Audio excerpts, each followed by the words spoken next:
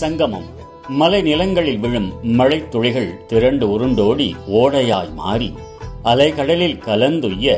சில பல நதிகளில் இணைந்து மகா நதியாய் ஒருமித்து சங்கமிப்பது போல் நிலவுலகில் மனித துளிகளாய் எழுச்சி பெற்று வளமாக வாழ்வதெனில் நிலை கடலாம் இறையுணர்வில் தொய்வதற்கு அறநெறியாம் வேதாத்திரிய மகாநதியில் சங்கமிப்போம் வாழ்க வையகம் வாழ்க வையகம் வாழ்க வளமுடன் குருவே துணை குரு வணக்கம் முட்டைக்குள் அமைந்த கரு உடலாலும் உயிராலும் வளர்ச்சி பெற்றால் மூடிய ஓடு உடைந்து விடும் குஞ்சு வெளி உலகை கண்டு இன்பம் துய்க்கும் திட்டமிட்டு அறம் ஆற்றி தூய்மை அறிவில் உடலில் பெற்றுவிட்டால் தீரும் வினை புலன் மயக்கம் தாண்டிடலாம் தீய வினை பதிவு எல்லாம் விட்டுவிடும் விளைவாக வீடு பேரெனும் அறிவை அறிதல் கிட்டும் வினை பயனை போக்காமல் வீடடைய விரும்புவதோ பொருந்திடாது வினை பயனை போக்காமல் வீடடைய விரும்புவதோ பொருந்திடாது தட்டங்கள் திறக்கும் என்றார் தனக்குள்ளே பேராற்றல் புதையல் கண்டோர் தக்க வழி அருட்குருவின் தால் பணிந்து தவம் பயின்று தனை உணர்தல்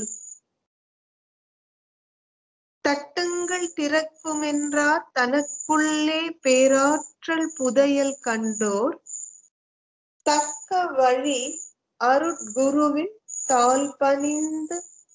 தவம் பயின்று தனை உணர்தல் நமது கனடா ஸ்கை சென்டரை தலைமை பொறுப்பேற்று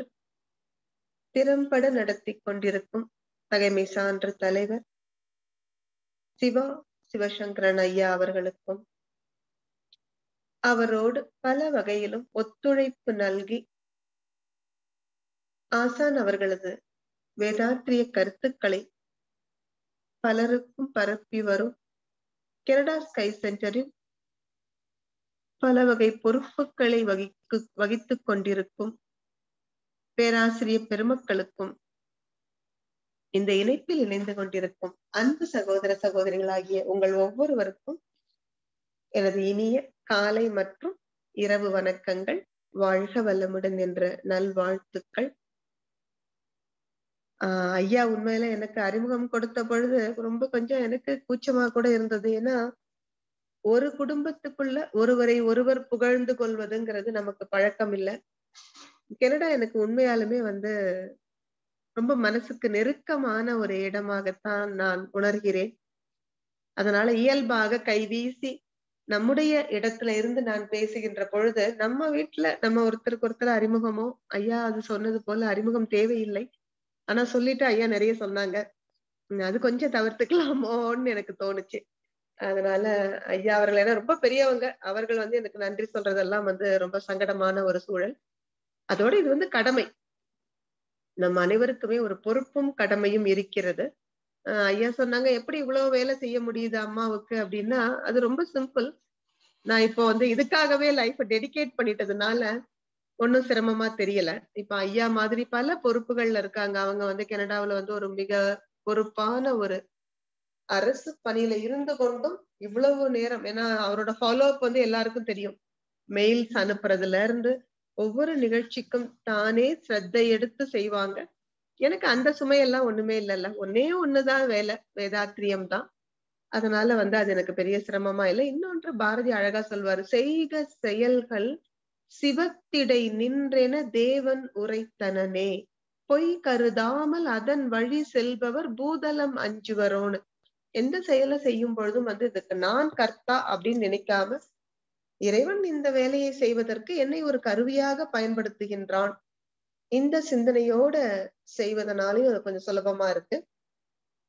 இன்று நமக்கு தலைப்பு வந்து ஆன்ம தரிசனம்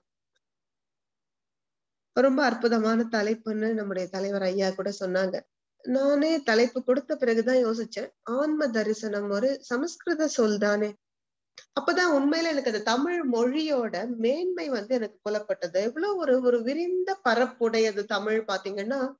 எத்தனை சொற்களையும் இயல்பாக வந்து தனக்குள்ள வாங்கிக்க முடியும் அப்படி ஒரு ஆளுமை மிக்க மொழி நம்ம வந்து உண்மையில தமிழை தாய்மொழியாக பெற்றதற்கே நம்ம தவம் செய்திருக்கணும் அதனாலதான் மகாகவி பாரதி அப்படி கொண்டாடுறார் யாமறிந்த மொழிகளிலே தமிழ் மொழி போல் இனிதாவது எங்கும் காணோம் பாவேந்தர் இன்னும் அழகா சொல்றாரு பாத்தீங்களா தமிழ் தமிழுக்கும் அமுதென்று பேர் அமிழ்தம் தான் அந்த மொழி உண்மையில அதனாலதான் அந்த தமிழ் என்ப தமிழெங்கள் உயிருக்கு நேர் ஏன்னா அமிழ்தம் வந்து சாப்பிட்டவங்களை வந்து உண்டவரை நெடுங்காலம் வாழச் செய்யும் தன்மை உடையது அப்படிதான் அது தமிழ் நீங்க உச்சரிக்க உச்சரிக்க உண்மையில அந்த இனிமை வந்து நம்ம உயிரை வளர்க்கும் மொழி என்று சொல்றதுல ஒரு தப்பும் இல்லை நாம் அனைவருமே உண்மையில தமிழை வந்து அதிகம் வந்து நேசிக்கவும் செய்யணும் அடுத்த தலைமுறைக்கு எடுத்துட்டும் போகணும் நம்ம இவ்வளவு ஒரு அற்புதமான ஒரு மேன்மையான மொழி வந்து நான் இன்னைக்கு தான் ஒரு தகவல் கேள்விப்பட்டேன் கிட்டத்தட்ட வந்து ஆறு லட்சம் மக்கள் வசிக்கிற வந்து ஆஸ்திரேலியாவில தமிழ வந்து அங்க யாரும் பேசுறது இல்லையாமா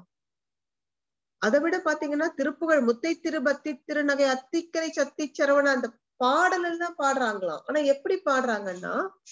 வரி வடிவம் பாத்தீங்கன்னா ஆங்கிலத்துல எழுதி வைத்து கொண்டு பாடுறாங்களாம் பக்தி வந்து செய்யறதுக்கு கூட அவங்களுக்கு தமிழ் மொழி வந்து பயன்படுத்த முடியல தெரியல எப்படி நாயன்மார்களும் ஆழ்வார்களும் உருகி உருகி வளர்த்த தமிழ் இன்னைக்கு பாத்தீங்கன்னா ஆங்கிலத்தில் எழுதி வைத்து கொண்டு பாடுற நிலைமையில இருக்குன்னாங்க நிச்சயமா நம்ம வந்து இதை வளர விடக்கூடாது நான் கூட ஒரு உறுதி எடுத்துக்கிட்டேன் நம்ம அதிகம் வந்து ஆங்கில கலப்பு இல்லாமல் இனி பேசணும் என்ற ஒரு உறுதி எடுத்திருக்க முடிந்தவரை வாழ்க வளமுடன் அப்போ இந்த ஆன்ம தரிசனம் என்ற சமஸ்கிருத சொல்லுக்கு நேரடியான தமிழ் வார்த்தை வந்து நான் யோசிச்சப்பதான் புலப்பட்டது உயிர் உணர்வு எல்லா பெரியவங்களும் சொல்லியிருப்பாங்க கவியரசர் கண்ணதாசன் ரொம்ப அழகா சொல்வார் உனக்கு இறைவனது தரிசனம் வேண்டுமானால் ஆன்ம தரிசனம் அடைந்த பிறகுதான் இறை தரிசனம் சாத்தியம் முதல்ல அந்த சுயம் நான் யாருன்னு தெரியணும் அதன் பிறகுதான் இறைவனையே கூட நம்ம உணர்ந்துக்க முடியும் அப்படி இந்த உயிர் உணர்வு எப்படி இந்த உயிரை பற்றி நம் குருபிரான் அருட்தந்தை அவர்களுக்கு சிந்திக்க தோன்றியது அப்போ பார்த்தா மகரிஷி இவங்களே இதை பதிவு பண்றாங்க அவருடைய தந்தையார் வரதப்ப முதலியார் அவருக்கு பாருங்க எழுத படிக்கவே தெரியாது ஆனால் நிறைய கவிதைகளை செவி வழி செய்தியாக கர்ண பரம்பரைன்னு சொல்லுவோம் இல்லையா அப்படி கேட்டு கேட்டு மனப்பாடம் பண்ணியிருந்தார் அப்படி அவர் வரப்படுத்தி வைத்திருந்த கவிதைகளை தன்னுடைய செல்வ மகன் வேதாத்ரிக்கு சொல்லிக் கொடுக்கிற பழக்கம் அவருக்கு இருந்தது அப்படி ஒரு பாடல் பார்த்த சாரதி நான்மணி மாலையில சிறுவன் வேதாத்திரிக்கு அவர் சொல்லி கொடுக்கிறாரு அது என்ன பாடல்னு பாத்தீங்கன்னா ஒருவனே தெய்வம் அல்லால் வேறே இல்லை உயிரெல்லாம் ஒன்றாமே உற்று பார்த்தால் கருவிடமே வித்து முதல் உலகமாச்சு கதிரவனால் உலகமெல்லாம் விளங்கி நிற்கும் உருவான நட்சத்திரங்கள் இருபத்தி ஏழில் அல்லால் இருபத்தி ஏழில் உண்டபடி அல்லால் வேறே இல்லை பரிமளமே திரிவ திருவள்ளிக்கேணிவாள் பார்த்தனிட சாரதியை பணிகுவாயே இந்த பாடல்ல அருட்டந்தைக்கு ஒருவனே தெய்வம் அல்லால் வேறே இல்லைன்னு பெருசா குழப்பம் இல்லை அந்த இளம் பிராயத்தில் அவரால் அதை ஏத்துக்க முடிஞ்சது ஆனா அடுத்த வரி கேக்குறாரு உயிரெல்லாம் ஒன்றாமே உற்று பார்த்தால் எப்படி உற்று உற்று பார்த்தாலும் உயிர் அவருக்கு ஒன்னா இருக்க மாதிரி தோணல வேற வேறையா தான் தெரியுது பக்கத்திலேயே கைகளை பிடித்து நடந்து வருகிற அப்பா வேற உயிர் நான் வேற உயிர் ஆடு மாடு நாய் எல்லாமே வேற வேற உயிர் தானே எப்படி இந்த உயிர் ஒன்று அது வேற உற்று பார்த்தா புரியுங்கிறாங்க அது எப்படி உற்று பார்ப்பது பின்னாடி மகரிஷி எழுதுவாங்க உற்று உற்று பார்த்திட உன்னை பின் அப்படின்னுட்டு ஆனா அன்னைக்கு அந்த இளம் வயசுல அவருக்கு உற்று பார்ப்பதுன்னா என்ன தெரியுது உள்முகமாக பார்க்கணும்னு தெரியல அப்ப மகரிஷியே சொல்றாங்க பாருங்க ஒரு மூன்று கேள்விகள் தான் என் சிந்தனையை பாடாப்படுத்துது அவருக்கு புத்தருக்கும் ஒரு மூன்று கேள்விகள் தான் எழுந்தது நமக்கு வரலாறு படிச்சவங்களுக்கு தெரியும் புத்தருக்கு ரொம்ப பாருங்க அதுல ஒரு நுட்பம் இருக்கும் புத்தர் செல்வ செழிப்புல வளர்றார் அரண்மனையில சுகபோகங்கள்ல வளர்றார் அப்ப அவருக்கு தெரியவே தெரியாத மூன்று கேள்விகள் மேலதான் அவருக்கு சிந்தனை போகிறது அவர் பார்த்த அந்த ஒரு நோயாளி முதுமை மரணம் அவருக்கு நோயும் கிடையாது வயோதிகமும் கிடையாது மரணத்தை பத்தி அறிவும் இல்லை ஆனா தனக்கு தெரியாத அந்த மூன்று விஷயங்களைத்தான் புத்தர் எடுத்துக்கொள்கிறார் ஆராய்ச்சிக்கு அருட்தந்தையோ அவரை பெரிதும் வாட்டிய விஷயங்கள் ஒண்ணு வறுமை அப்ப வறுமையை பற்றி அவருக்கு ஒரு கேள்வி வருது அடுத்த இரண்டு கேள்விகளும் அப்பா சொல்லி கொடுக்கிறார் இந்த பார்த்தசாரதி நான்மணி மாலையில ஒருவனே தெய்வம் அல்லால் வேறே இல்லை உயிரெல்லாம் ஒன்றாமே உற்று பார்த்தால் அப்ப அந்த உயிர் எப்படி ஒன்று எப்படி அந்த ஒரு தெய்வம் என்றால் அவர் கூடுவாஞ்சேரியில அவருக்கு தெரிஞ்சதெல்லாம் அந்த பிள்ளையார் கோவில் இந்த பிள்ளையார் ஒருவர் தான் தெய்வமா ஆனால் பஜனை பாடல்கள்ல சிவபெருமான் மேல பாடலை கேட்கிறாரு அவருக்கு ரொம்ப பிடித்த பாடல் தாயுமானவர் அந்த அங்கிங்க நாதபடி எங்கும் பிரகாசமாய் அந்த பாடல் வந்த பிறகுதான் மகரிஷிக்கு கொஞ்சம் ஒரு தெளிவு இருக்குது கண்டனையெல்லாம் மோன உரு வெளி அதாகவே கருதி அஞ்சலி செய்துவான் அப்பதான் கொஞ்சம் கொஞ்சமா அந்த முடிச்சுகள் வந்து அவருக்கு அப்படியே அவிழ்கிற மாதிரி தோணுது விஷ்ணு பரமசிவன் பிள்ளையார் முருகன் நம்ம எப்படி சொன்னாலும் கண்டனையெல்லாம் மோன உரு வெளி என்று சொல்கிறாரே என்று சிந்தனை சிந்திக்க தொடங்கும் பொழுது புத்தருக்கு நோய் முதுமை மரணம் என்ற கேள்விகள் எழுந்தால் அருட்தந்தை அவர்களுக்கோ வறுமை உயிர் இறைவன் பற்றி கேள்விகள் பிறக்கிறது அருட்தந்தை தன்னுடைய எனது வாழ்க்கை விளக்கத்துல பதிவு பண்றாரு பாருங்க புத்தருக்கு கேள்வி பிறந்தது அவன் அரச குமாரன் அறிஞர்கள் சபை இருக்கு அரண்மனையில அவர்களாலேயே புத்தருக்கு பதில் சொல்ல முடியலன்னா எனக்கு நானோ ஏழ்மையின் அடித்தளத்தில் வாழ்ந்து கொண்டிருப்பவன் எனக்கு என்னுடைய கேள்விகளுக்கு யார் விடை கொடுக்க முடியும் இம்மூன்று கேள்விகளை எழுப்பிக் கொண்டு இரவு பகலாய் சிந்தித்து அறிந்திடாமல் நிம்மதியை இழந்து அறிஞர் மன்றம் நோக்கி நீங்கள் சொல்லுங்கள் என கேட்ட புத்தர் செம்மையுள நேர் பதிலை பெறாததாலே சிறந்த அரச பதவி உதறித்தள்ளி எம்முறையில் துன்புற்றார் எனக்கு மட்டும் எவ்விதத்தில் பதில் விளங்கும் எளிதில் அந்நாள் அவன் அரசகுமாரன் அவனுக்கே ஆன்சர் கிடைக்கல இப்ப மகரிஷி சொல்றாரு என்னுடைய வாழ்க்கை எப்படி இருக்கு ஓலை குடிசை வாழ்க்கை உணவோ சொற்பம்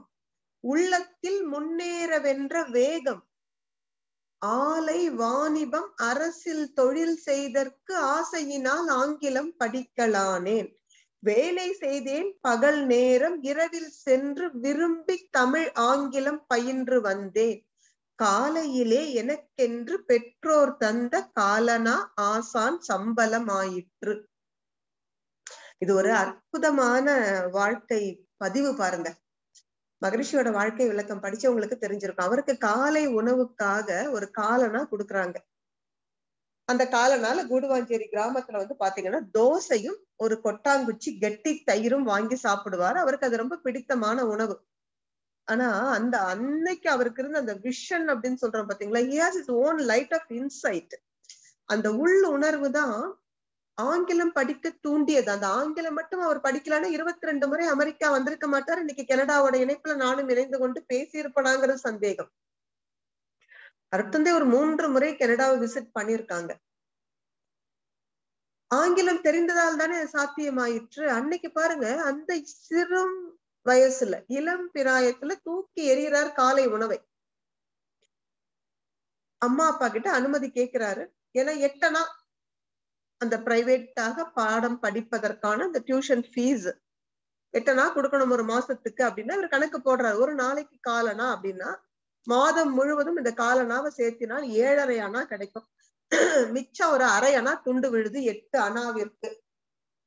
அதை மட்டும் அப்பா கிட்ட வாங்கி நம்ம சமாளிச்சு கொடுத்துர்லான்னுட்டு ஆனால் அவ்வளவு எளிதில் ஒப்புதல் வாங்க முடியல ஏன்னா மகரிஷி எழுதுறாங்க பாருங்க அது பாடம் சொல்லி கொடுப்பவர் கிறிஸ்டியன் அப்ப அம்மாவுக்கு பயம் பையன் அங்க போய் அவங்க வீட்டுல தண்ணி வாங்கி குடிச்சிருவானோன்னு மகரிஷி சொல்றாங்க எவ்வளவு ஒரு சிரமம் பாருங்க அந்த காலத்துல வந்து தண்ணி வாங்கி குடிக்கிறது கூட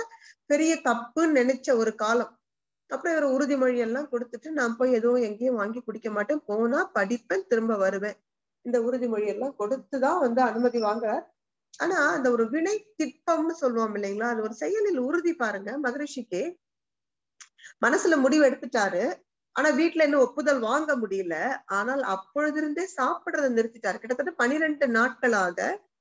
காலனா காலனாவா சேர்த்து வந்து மூன்று அணா சேர்த்துட்டாரு ஆனா வீட்டுல அனுமதி கிடைக்கல என்ற பொழுதும் உணவு உட்கொள்ளாமல் இந்த பணம் சேர்த்துறதை நிறுத்தல அவருக்கு எவ்வளவு நம்பிக்கை எப்படி அனுமதி வாங்கிட முடியும் அதனாலதான் வந்து சுவாமி விவேகானந்தர் இல்ல பாரதி எல்லாரும் சொல்றாங்க நீ ஒரு செயலை செய்து முடிக்கணும்னு உறுதி எடுத்துட்டா பிரபஞ்சத்தின் ஒட்டுமொத்த சக்தியும் நாம் அந்த செயலை செய்து முடிப்பதற்கு உதவி செய்வதற்கு காத்துக்கிட்டு இருக்கான் திருவள்ளுவர் அது இன்னும் அழகா சொல்றாரு குடி செய்வல் என்னும் ஒருவருக்கு தெய்வம் மடிதற்று தான் முந்துருங்கிறாரு இறைவன் ஓடி வரானா நம்ம எடுத்த செயலை நம்ம வெற்றிகரமா நிறைவேற்றுவதற்கு அப்படித்தான் அருத்தந்தைக்கு பாத்தீங்கன்னா இவ்வளவு துன்பமான சூழ்நிலையிலும் கூட அந்த உயிர் உணர்வு பெற வேண்டும் என்பதில் இருந்த ஒரு அசைக்க முடியாத அந்த தேடல் தான் அவ்வளவு அழகாக அவர் அந்த உயிர் உணர்வை விளக்கியதோடு மட்டுமல்லாது நாம் அனைவரும் கூட இன்று விளங்கிக் கொள்ளும் வண்ணம் எளிமைப்படுத்தி கொடுத்தார் மகரிஷி அவர்களே அது தெளிவா சொல்லுவாங்க இந்த உயிர் உணர்வுங்கிறது அவ்வளவு சீக்கிரத்துல எல்லோருக்கும் இந்த கேள்விகள் எழுந்து விடாது அது வந்து அறிவின் படித்தளத்தில் தான் அறிவு மெல்ல மெல்லதான் உயர்ந்து வருது நீங்க ஆரம்ப கட்டத்துல வந்து இந்த எவல்யூஷன் ஆஃப் வந்து லிவிங் பீயிங்ஸ் நம்ம பிரபஞ்சத்தினுடைய தன்மாற்றத்தை கூட யோசிக்க வேண்டாம் இந்த உயிரின தன்மாற்றம் இப்படி வந்த வரிசையில பாத்தீங்கன்னா ஆறு அறிவு மனிதன் வந்த பொழுது விலங்கினங்களை போலத்தான வாழ்க்கை வாழத் தொடங்குகிறான் அப்ப அவனுக்கு அடிப்படை தேவையெல்லாம் பார்த்தா பசிக்கு உணவு அப்படி உணவு தேட ஆரம்பித்த பொழுதுதான் அவனுக்கு ஒரு சிக்கல் புரிந்தது இவன் சிரமப்பட்டு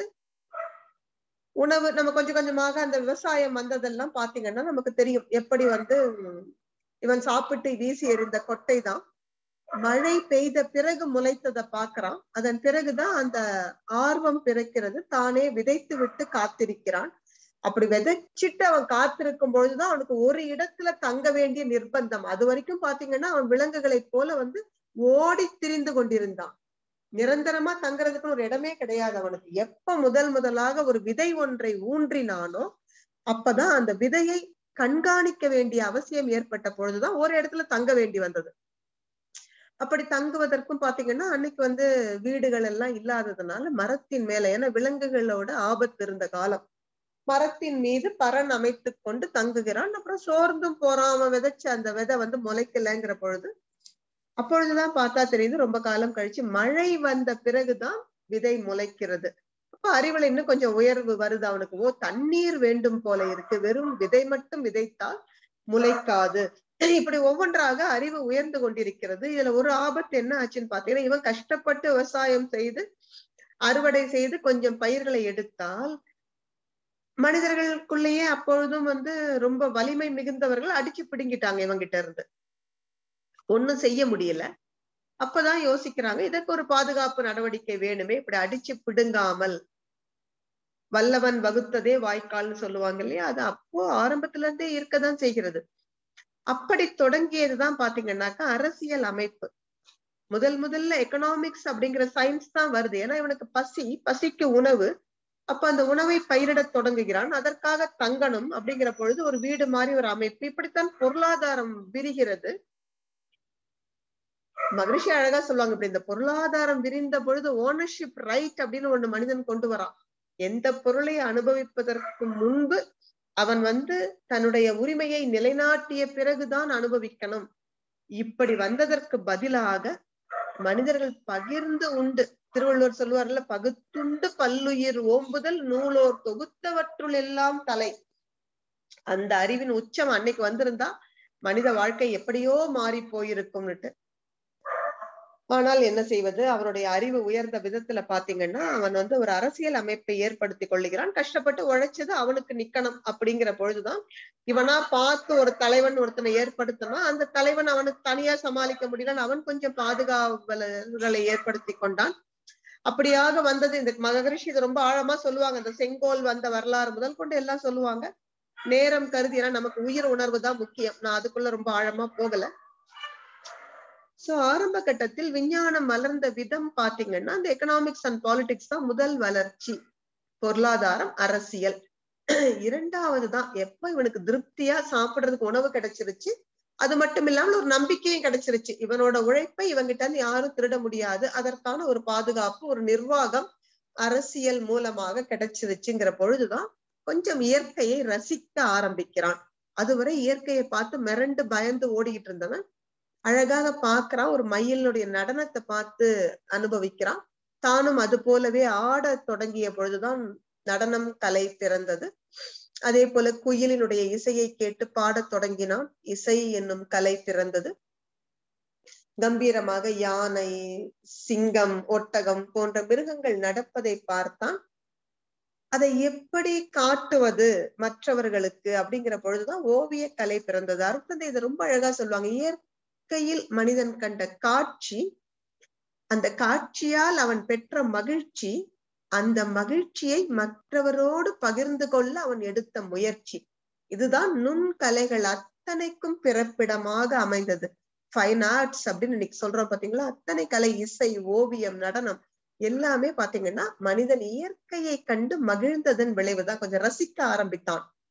இப்ப இரண்டாவது கட்டமாக அறிவு உயர்ந்தது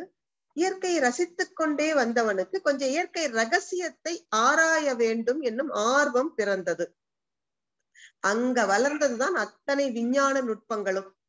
எப்படி இந்த பூமி சுத்துது என்ன ஆரம்ப காலம் நமக்கு தெரியும்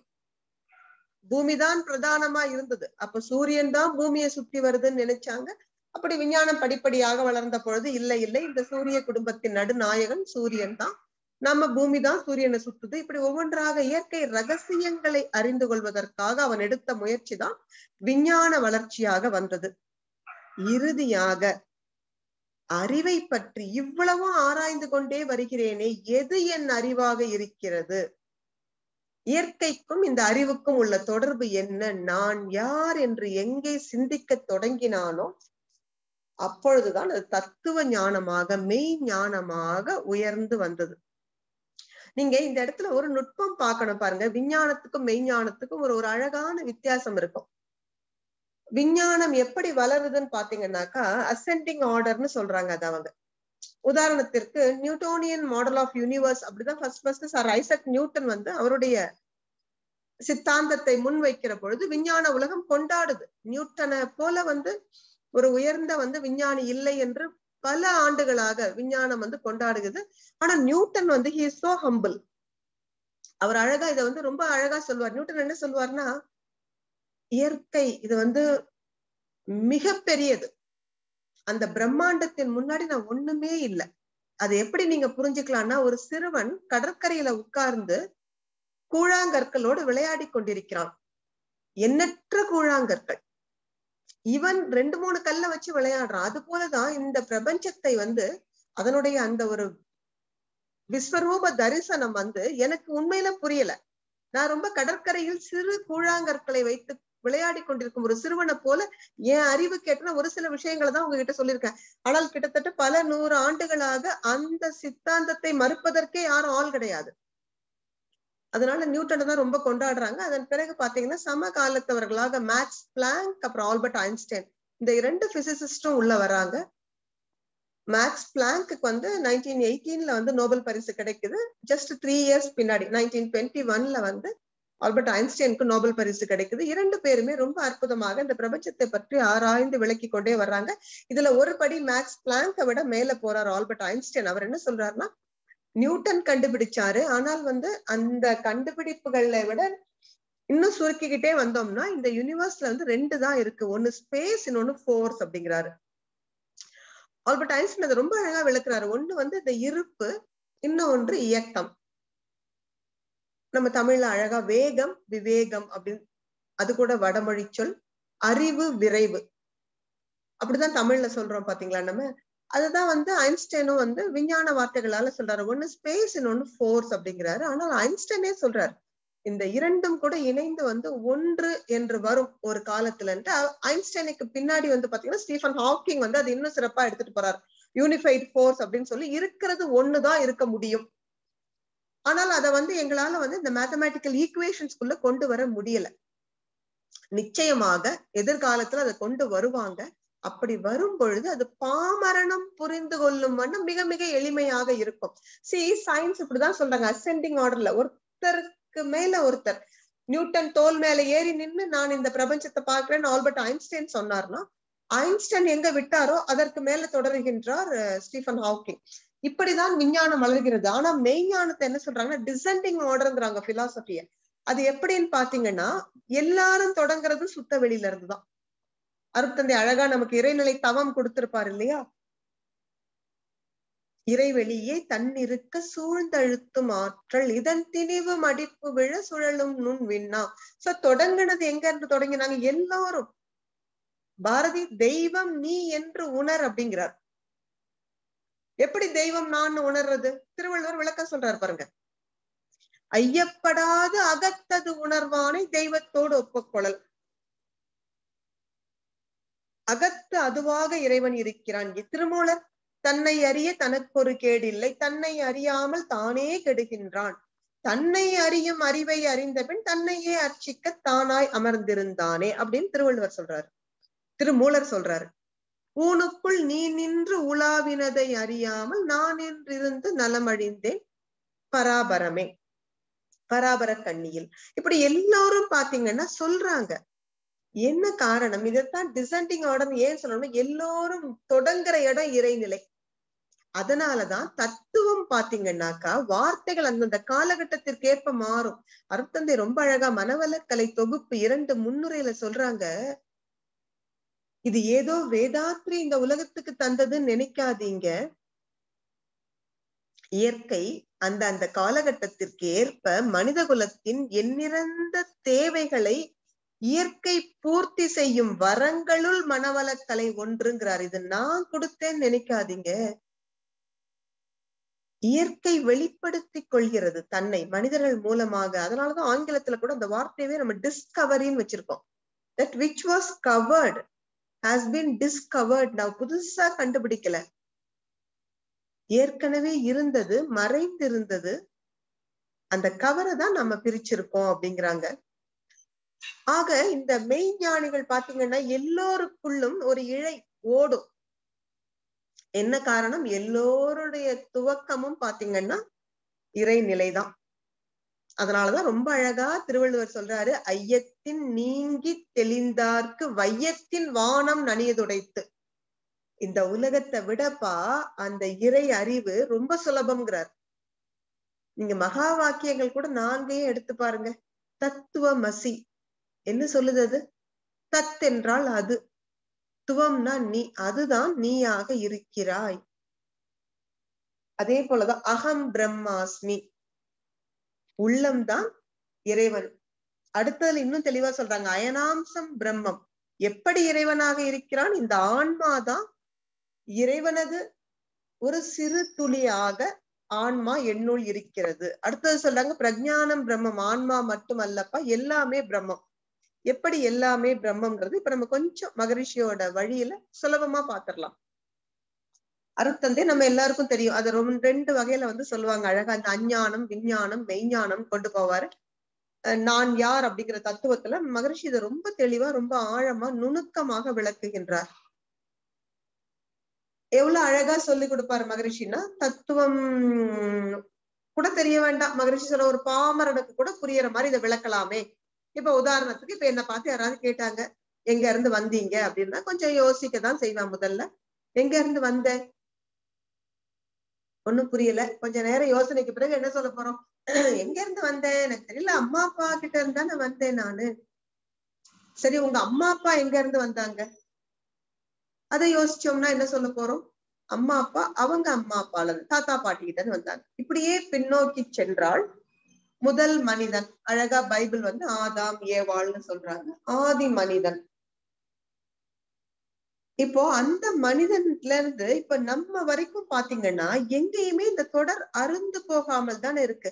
இட்ஸ் அ கண்டினியூஸ் செயின் இந்த லிங்க் ஒரு கண்ணி கூட நடுவுல அருந்து போல பாருங்க தொடர்ந்து தொடர்ந்து தொடர்ந்து இருக்கிற பொழுது இப்ப புரியும் நமக்கு கணியன் பூங்குன்றனார் எந்த அறிவின் உச்சத்துல நின்னு யாதும் ஊரே யாவரும் கேளிர்னு சொல்லியிருப்பார்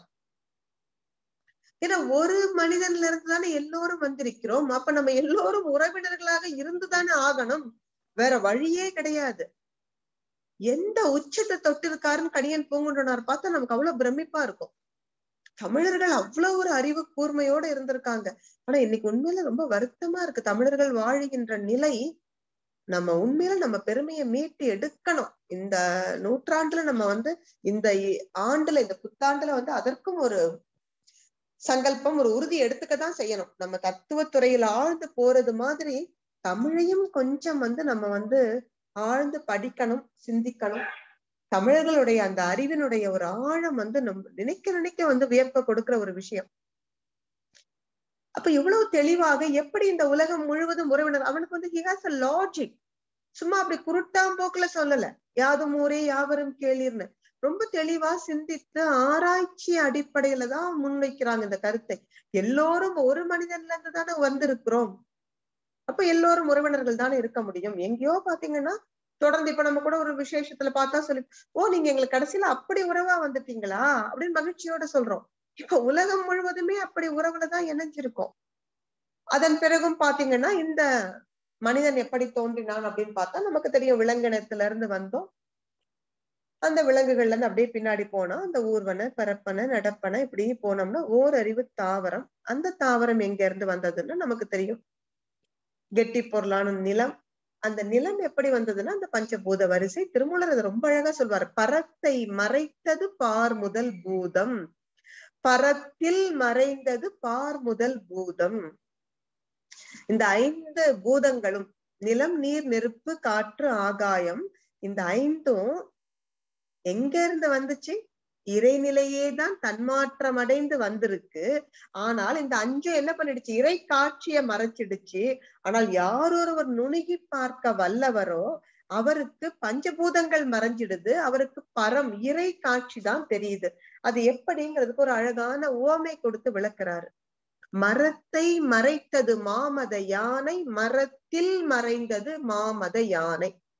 ஒரு அழகான சந்தன மரத்துல ஒரு யானை சிற்பத்தை செதுக்கி இருக்காங்க அந்த யானையை கண்டு ரசிக்கிறவனுக்கு அப்பா இந்த சிற்பி என்ன கம்பீரமாக அப்படி தந்தத்தை கூட அவ்வளவு அழகா செதுக்கியிருக்கான் தூண் போல் கால்களை செதுக்கியிருக்கான் அந்த தும்பிக்கை அழகா செதுக்கியிருக்கான் இப்படி யானை சிற்பத்தை பார்த்து பார்த்து வியக்கின்ற சிற்பிக்கு அந்த சந்தன மரத்தினுடைய மேன்மை தெரியல ஆனா ஒரு தச்சன் வந்து பார்க்கிறான் அவன் சொல்றான் நல்ல ஜாதி மரம் இந்த சந்தன மரத்தை எங்க இருந்து எடுத்தான் தெரியல அவனுக்கு யானை சிற்பம் கண்ணுக்கு தெரியல மரத்தில் மறைந்தது மாமத யானை அவனுக்கு தெரிஞ்சதெல்லாம் மரம் ஒண்ணுதான் அந்த சந்தன மரத்தின் நேர்த்தி அதனுடைய உயர்வு இதெல்லாம் தான் அவனுக்கு தெரிஞ்சது ஆனால் மிக அழகான அந்த யானை சிற்பத்தை பார்த்து ரசித்தவனுக்கு சந்தன மரத்தின் மேன்மை தெரியல இது போலதான் நீங்க கூர்ந்து பார்ப்பவர்களுக்கு எந்த தோற்றத்திலும் பரத்தை பார்க்க முடியும் இந்த பஞ்சபூதங்களை தாண்டி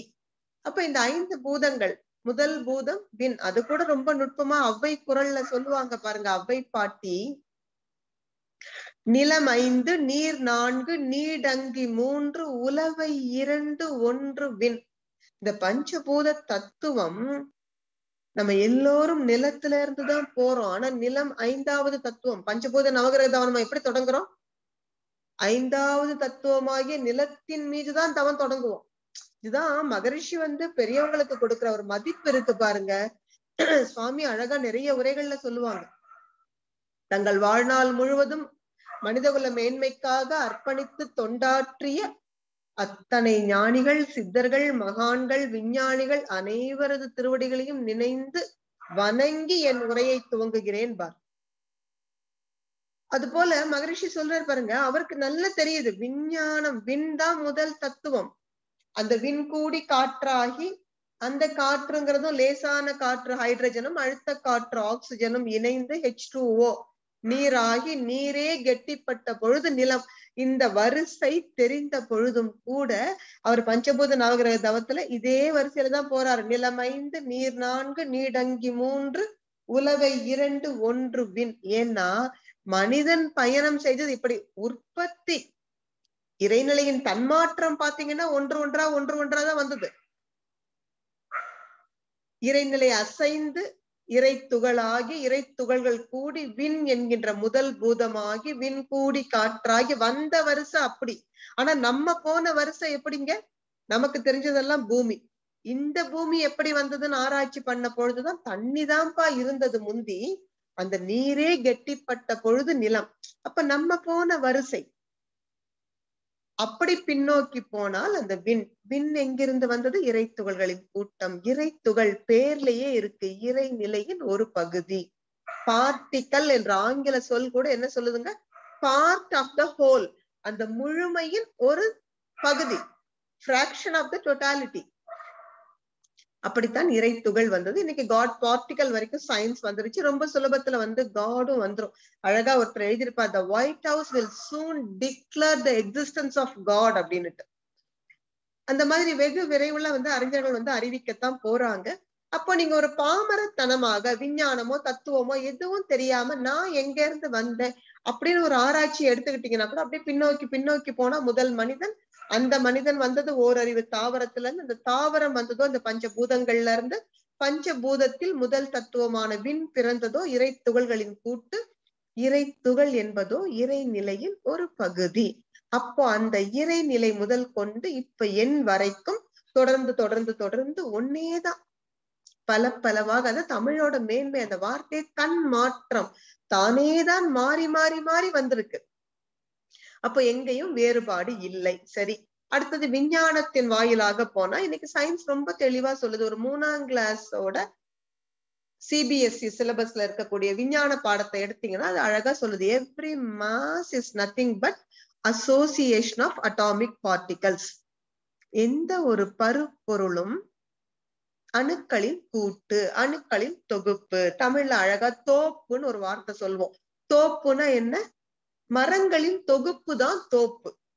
அதே போலதான் அணுக்களின் தொகுப்பு தான் தோற்றம் இது விஞ்ஞானம் ரொம்ப தெளிவா சொல்லுது சரி அப்ப அணு வந்து நிலையானதா அப்படின்னு பார்த்தா நமக்கு தெரியும் அணு நிலையற்றது அது எப்பொழுதும் மாறிக்கொண்டே இருப்பது இயங்கிக் கொண்டே இருப்பது சரி இந்த அணு எங்கிருந்து வந்தது நிலைத்த இறைநிலையின் அசைவு தான் அணுவானது அப்போ சயின்ஸும் பாத்தீங்கன்னா காட் பார்ட்டிகல் வரைக்கும் வந்துட்டாங்க இறைத்துகள் வரைக்கும் வந்தாச்சு ஒரே ஒரு ஸ்டெப் தான் மகரிஷி சொல்லுவாங்க அங்கதான் வேதாத்திரியத்தினோட பொறுப்புணர்ச்சி இருக்கு அதுவும் நம்ம கனடா ஸ்கை சென்டர்ல நம்ம ஒவ்வொரு நாளும் வாழ்த்தி வாழ்த்தி வாழ்த்தி யூஎன்ல நமக்கு இப்ப டபிள்யூசிஎஸ்சிக்கு கன்சல்டேட்டிவ் ஸ்டேட்டஸ் கிடைச்சிருக்கு இது ஒரு புள்ளி துவக்கம் தான் தொடர்ந்து இதை கொண்டு இந்த வேதாத்திரிய கருத்துக்களை விஞ்ஞானிகள் ஆராய்ச்சி செய்கிற பொழுது ரொம்ப சுலபமாக இந்த இறை துகள் என்கிற God particle is nothing but God itself அப்படின்னு சொல்ற காலம் வந்து அண்மையில தான் இருக்கு அப்படி பார்த்தீங்கன்னா அந்த இறை அசைந்து இறை துகளாகி இறை துகள்கள் இணைந்து அணுக்களாகி அணுக்களின் தொகுப்பு தான் எந்த தோற்றமும் இத மகாகவி பாரதி மாதிரி இவ்வளவு அழகா சொன்னவர் யாரும் இல்லை பாரதி என்ன அழகா சொல்றாரு பாருங்க காக்கை குருவி எங்கள் ஜாதி நீல் கடலும் மலையும் எங்கள் கூட்டம் அணுக்களின் கூட்டம் உயிரற்ற பொருட்களும் நானும் கூட ஒண்ணுதானே நானும் அணுக்களின் கூட்டம் உயிரற்ற பொருட்களும் அணுக்களின் கூட்டம் ஆனா உயிர் உள்ளவையும் நானும் ஒரு ஜாதி என்ன காரணம் இன்ப துன்ப உணர்வுகள் இருவருக்கும் உண்டு இந்த அறிவில் நோக்க நோக்க களியாட்டம் நோக்கும் திசையெல்லாம் நாம் அன்றி வேறில்லை அப்ப நீங்க விஞ்ஞானத்தின் வழியாக பார்த்தாலும் ரொம்ப சுலபம் இப்ப இந்த இணைப்புல நாற்பத்தி மூணு பேர் இருக்கும் நாற்பத்தி மூணு பேரும் வேற வேற அப்படின்னு நினைச்சோம்னா அது அஞ்ஞானம் அறியாமை கொஞ்சம் தாண்டி சயின்ஸ் குள்ள வந்துட்டு எல்லோருமே அணுக்களின் கூட்டம் தானே இந்த இடத்துல வந்தா வின்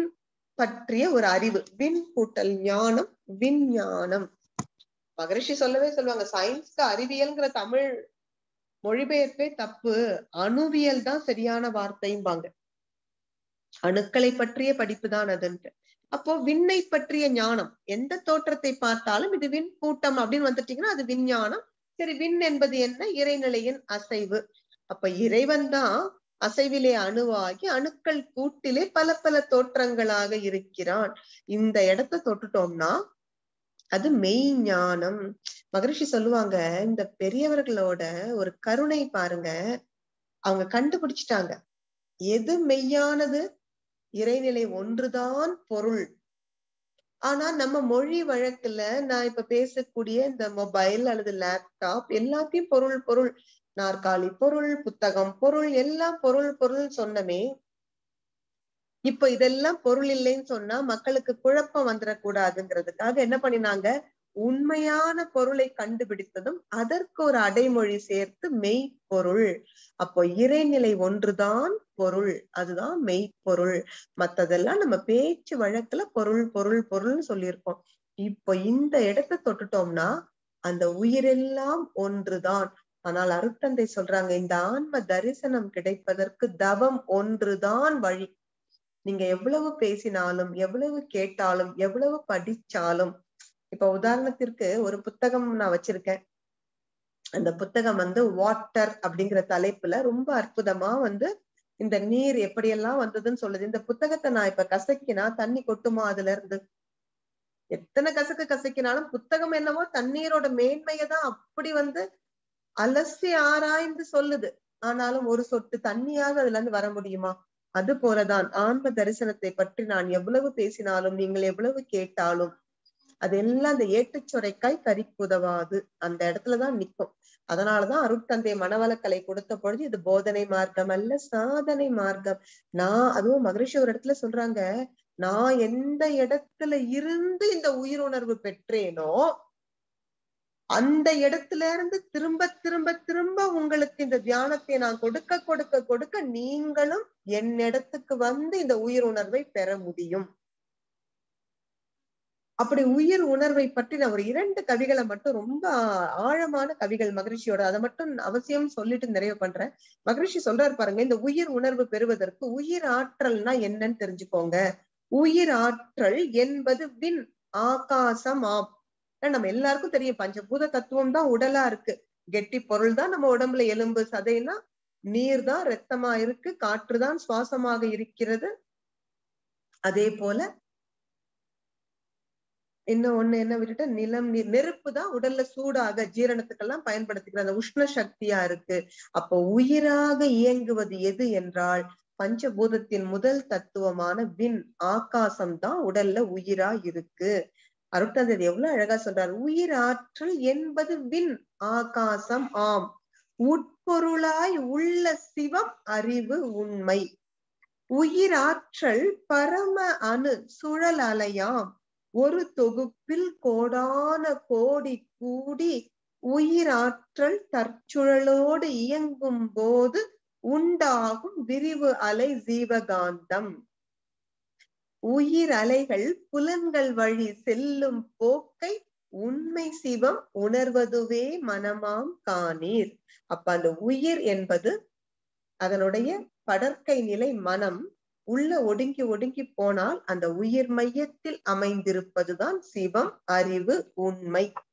இப்ப இந்த உயிர் அறிவு வந்தால் என்ன நன்மை கிடைக்குமா வாழ்கால சமூகத்திற்கு அதுவும் தந்தையோட ஒரு கிரேட்னஸ் தான் சொல்லணும் எதுனாலும் மகரிஷி அவரோட பிராக்டிக்கல் அப்ளிகேஷனை பேசாம இருக்க மாட்டாங்க சினம் தவிர்த்தல்னா வெறுமனே கோபத்தை விடுறதுக்கு சொல்ல மாட்டாங்க பயிற்சி முறை அதே போல மகரிஷி சொல்றாங்க ஏன் இந்த உயிர் உணர்வு வேண்டும் மனிதனுக்கு உயிர் உணர்வு வந்தால் என்ன நன்மை உயிர் அறிந்தால் அறிவறியும் உண்மை தோன்றும் உலகமெல்லாம் உயிருக்குள் இருக்க காணும் உயிர் அறிந்த அறிவாலே உலகை நோக்க உயர்வு தாழ்வு இல்லாத சமநிலை சித்திக்கும் அதுதானே யாதும் ஊரே யாவரும் கேளிர் யாரையும் கொண்டாடவும் மாட்டோம் தமிழ் மாதிரி சங்க இலக்கியத்துல சொல்றாரு பாருங்க ஒரு இடத்துல பெரியோரை வியத்தலும் இளமே சிறியோரை இகழ்தல் அதனினும் இளமே நீ யார் ஒருவரையும் உயர்ந்தவர் பெரியவர்னு கொண்டாட வேண்டியது இல்லப்பா ஆல்பர்ட் ஐன்ஸ்டீன் ஞானத்தில் மிக உயர்ந்து நிற்கிறார்னா அவருக்கு கிடைத்த வாய்ப்பு சூழ்நிலை ஒருவனுக்கு ஒண்ணுமே தெரியல அப்படின்னா அவன் அறியாமையில் இருக்கிறான்னு அவனுக்கு சரியான வாய்ப்பு கிடைக்கல அதனால தமிழ் சொல்லுது நீ ஒருத்தனை பெரியவன்னு கொண்டாடவும் வேண்டாம் அட கொண்டாடினா கூட தப்பில்லை அவருடைய முயற்சி உழைப்பு மதிக்கலாம் ஆனால் சிறியோரை இகழ்தல் அதனினம் இளமே ஒரு கால் நாங்க பெரியவங்களை கொண்டாடுறாலும் கொண்டாடுவோமே தவிர ஒருவனை சிறியவன் மட்டம்னு ஒரு நாளும் சொல்ல மாட்டோம் இந்த தமிழ தாய்மொழியா கொண்டிருக்கன்னா இன்னைக்கு எப்படி வாழுகிறோம் இந்த உயிர் உணர்வை தொலைத்த காரணத்தினால் அதனால அருப்பந்தை சொல்றார் உயிர் அறிந்த அறிவாலே உலகை நோக்க உயர்வு தாழ்வு இல்லாத சமநிலை சித்திக்கும் உயிர் அறியா அறிவு நிலை மாயையாகும் ஒப்பற்ற உயிர் அறிய ஞானமாகும்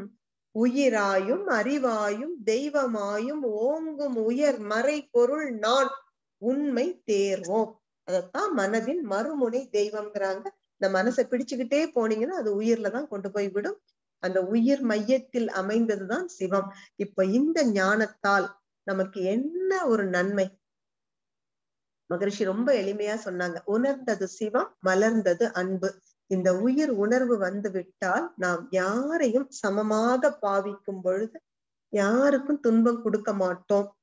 இன்னொரு உயிர் துன்பப்பட்டு கொண்டிருந்தால் எனக்கு என்ன அப்படின்னு போக மாட்டோம் அந்த துன்பத்தை போக்குவதற்கு நம்மால என்ன உதவி செய்ய முடியுமோ அந்த உதவியை தவறாது செய்வோம் ஆக எங்க வந்து நிக்கிறோம்னு பாத்தீங்கன்னா இரண்டொழுக்க பண்பாட்டுல தான் வந்து நிக்கிறோம் இந்த உயிர் உணர்வு பெற்றவர்கள் வாழ்க்கை முறையை பார்த்தால் அறுத்தந்த சொல்றாங்க அது அழகா மலர் மலர்ந்தால் அந்த மனத்தை யாரும் தடுத்து நிறுத்த முடியாது ஒரு பாத்திரம் வச்சு பைப்புக்கு கீழே தண்ணி பிடிக்கிறோம் நிறைஞ்சதுன்னா வழியத்தானே வேண்டும் அது போல இந்த உயிர் உணர்வை தொட்டுட்டா அந்த அறிவின் உச்சத்தை அடைந்த பிறகு அவரிடமிருந்து அந்த அருள் வழிந்து ததும்பி உலகம் முழுவதற்கும் பயனாகும் அந்த மனிதர் யார் இந்த உயிர் உணர்வை பெற்று விட்டாரோ அந்த மனிதரை பற்றி யாரும் எங்கேயும் விளம்பரமே தேவையில்லை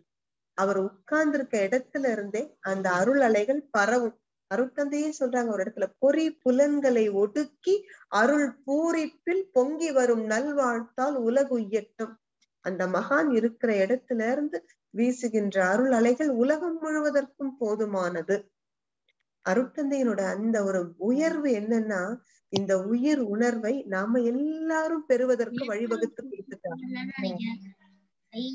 தவம் செய்வது வாழ்க வளமுடன் அபிராமி நீங்க கொஞ்சம் மியூட் பண்ணுங்கப்பா ஒரு சில நிமிடங்களுக்கு நன்றி வாழ்க வளமுடன் இந்த உயிர் உணர்வு நம்ம தவத்தின் மூலமாகத்தான் உயிர் உணர்வு அதனாலதான் குண்டலினி யோகம்னே பேரு ஏன்னா உயிர் மேல் மனம் வைத்து செய்கின்ற தவம் அல்லவா அப்ப அலித்தன்மை கொண்டதுதான் உயிர் ஆணுமல்ல பெண்ணும் அல்ல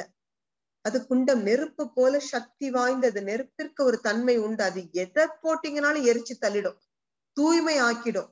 அப்படித்தான் உயிர் உணர்வு பெற்றவர்கள் தூய்மையாகத்தான் வாழ்வார்கள் ஆக இந்த உயிர் உணர்வு பெறுவதன் நோக்கம் வாழ்வில் அன்பும் கருணையுமாக வாழ்வதே என்று சொல்லி அப்படிப்பட்ட உயிர்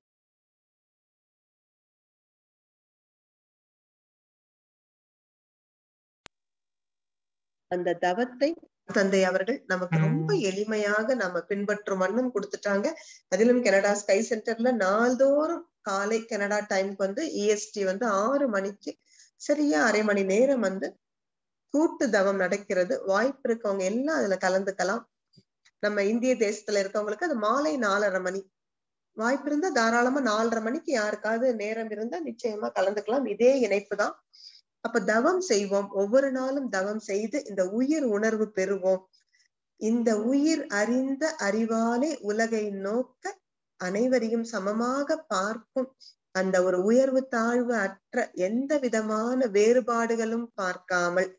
எல்லோரையும் சமமாக பாவிக்கும் அந்த சம நோக்கு அமையும் அதுவே மனித பிறவியின் நோக்கம் என்று சொல்லி இந்த அற்புதமான வாய்ப்பை வழங்கிய எல்லாம் வல்ல இறையர்களுக்கும் குருவர்களுக்கும் நன்றி கூறி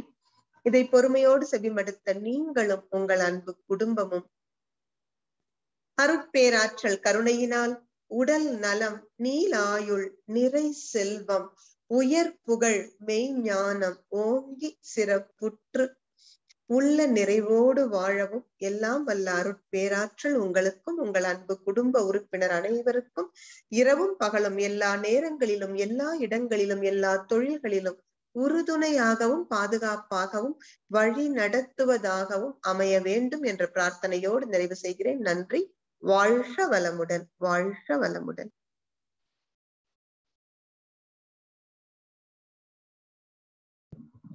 அம்மா வாழ்க வளமுடன்மா ஐயா வாழ்க வளமுடன் ஐயா வாழ்க வளமுடன் அம்மா வாழ்க வளமுடன் அம்மா சொல்லுங்கம்மா வாழ்க வளமுடன் ரொம்ப சிறப்புமா ரொம்ப அருமையா அருள் தந்தை வாழ்க்கையில இருந்து ஆரம்பிச்சு ஒவ்வொரு தத்துவங்களையா சொல்லி பிரபஞ்ச ரகசியங்கள் எல்லாமே இறைநிலை பற்றி எல்லாம் சொல்லி எல்லா கருத்துக்களையும் ரொம்ப சிறப்பா எங்களுக்கு முழுசும் தந்தையோட கருத்து ஃபுல்லா எங்களுக்கு கிடைக்கிற மாதிரி நல்ல அழகா சொன்னீங்கம்மா ரொம்ப அருமையான விளக்கம் அதான் அங்க நீங்க மூணு பாயிண்ட் சொன்னீங்க இங்க கடைசியில இரண்டு ஒழுக்க பண்பாடு கொண்டு வந்து அதோட நம்ம நம்ம வாழ்க்கையை சிறப்பா நடத்தணும் அப்படிங்கறத அழகா சொன்னீங்கம்மா ரொம்ப அருமைமா சிறப்பான சிந்தனை நன்றிம்மா வாழ்க வளமுடன் ஐயா நன்றி ஐயா நன்றி ஐயா வாழ்க வளமுடன் நன்றி அடுத்து அம்மா வணக்கம் உங்க பேச்சை பத்தி சொல்ல வேண்டியது இல்ல தனியா ரொம்ப அருமையா இருந்தது ஸோ இப்போ உங்களோட ஸ்பீச்ல வந்து இவ்வளவு நேரம் பேசினதுல நீங்க கடைசியா முடிச்சப்ப வந்து எல்லாரும் உயிரை உணரணும் அதுக்கு வந்து தவம் செய்த செய்யணும் அப்படின்னு சொல்லி முடிச்சிங்க ஸோ அதான் அல்டிமேட் இல்லையா ஸோ இயற்கை தத்துவம் அது எல்லாத்தையும் உணர்ந்தாலும் கடைசியா வந்து தவத்தின் மூலம் உயிரை உணரணும் அதான் இல்லையா வாழ்க வல்லமுடன் ஐயா ரொம்ப அழகா நீங்க எசன்ஸ பிடிச்சிட்டீங்க பாரதி சொல்வாரு பல கற்றும் பல கேட்டும் பயனொன்றும் இல்லை எங்கள் முத்து மாறி உண்மையில சமயத்துல அறிவு பாத்தீங்கன்னா ஆணவத்திற்குத்தான் வழிவகுக்குது எதுவுமே நம்ம படிக்க வேண்டாம் கேட்க வேண்டாம் அழகா தவம் செய்து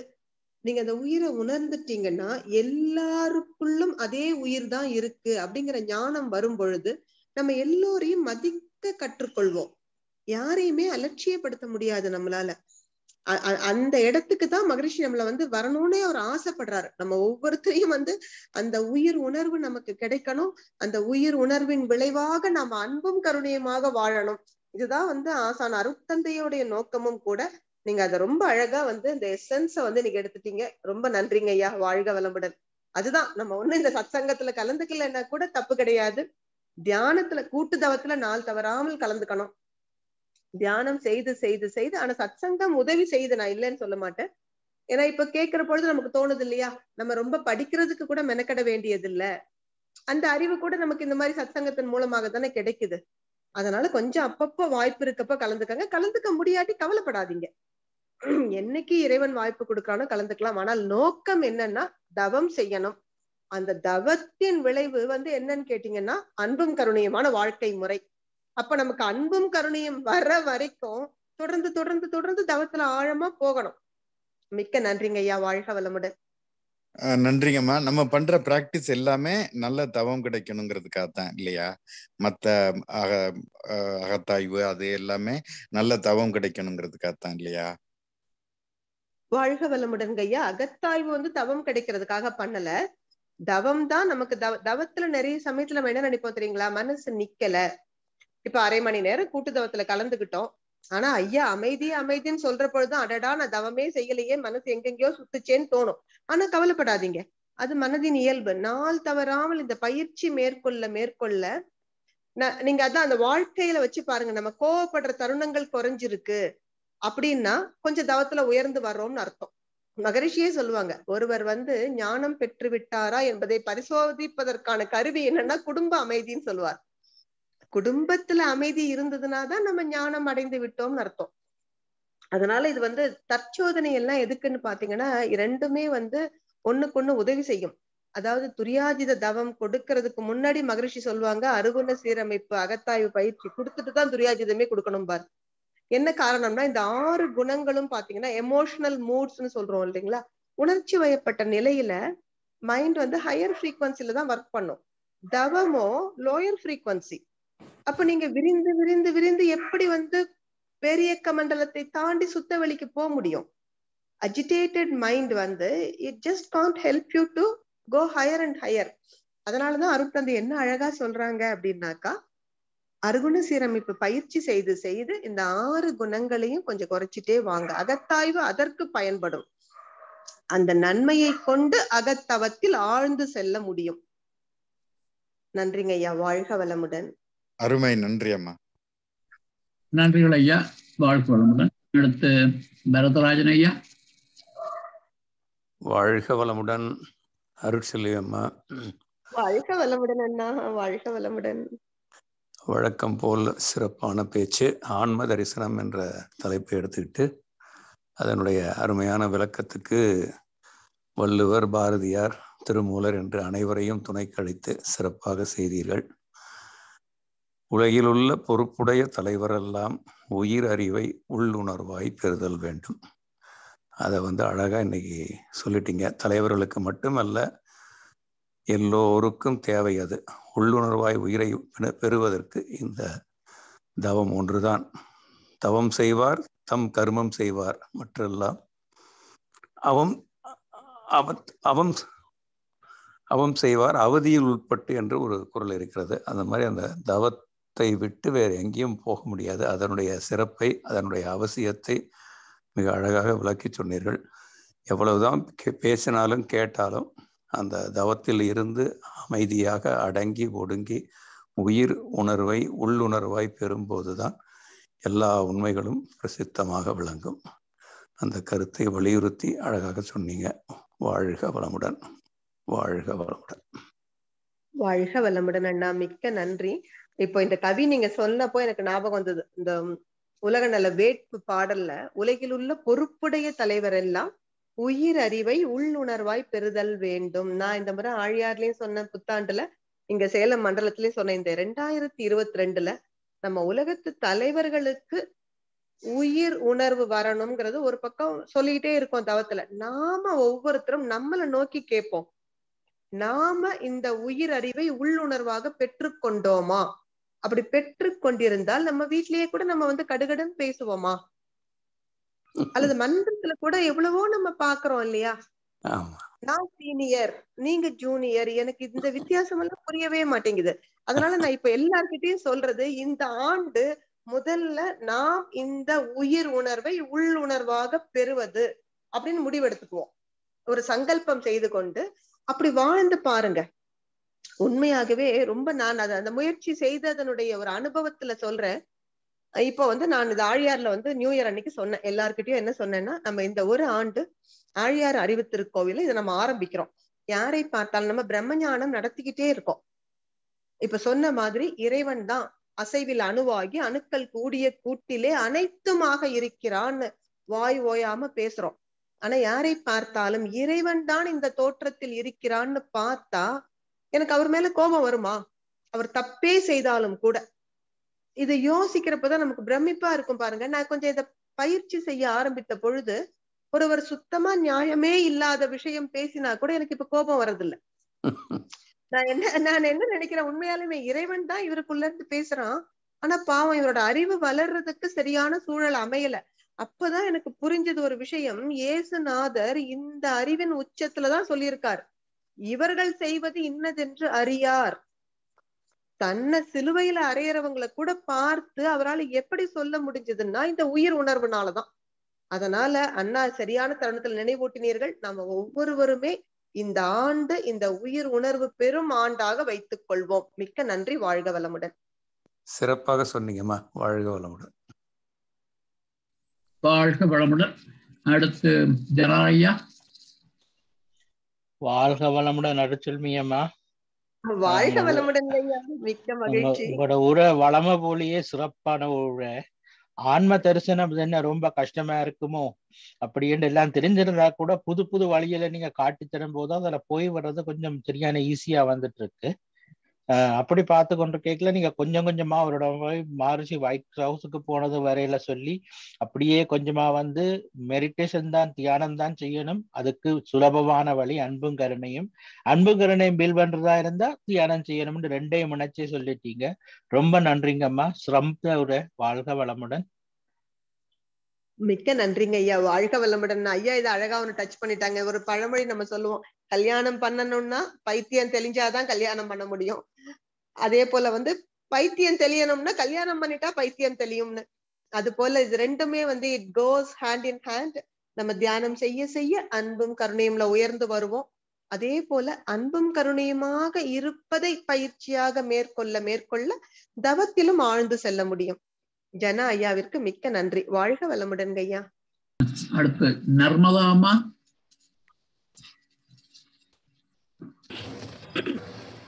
வாழ்க வளமுடன் அம்மா வாழ்க வளமுடன் அம்மா சொல்லுங்க கேக்குது